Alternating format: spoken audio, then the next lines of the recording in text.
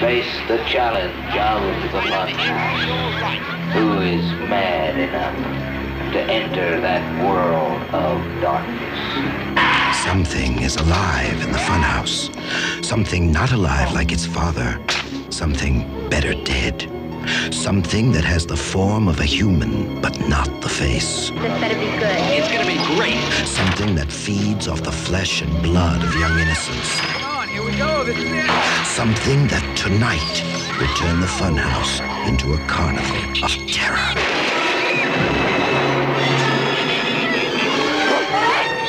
I don't know what that thing is.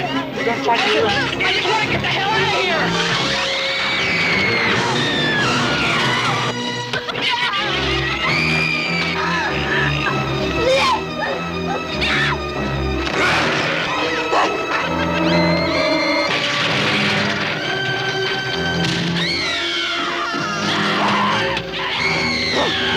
The Funhouse, coming soon from Universal Pictures.